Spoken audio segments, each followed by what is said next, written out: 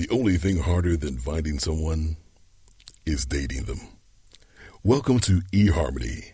Now you can get to know someone while still having fun, safely and anonymously. eHarmony begins now without the two drink minimum.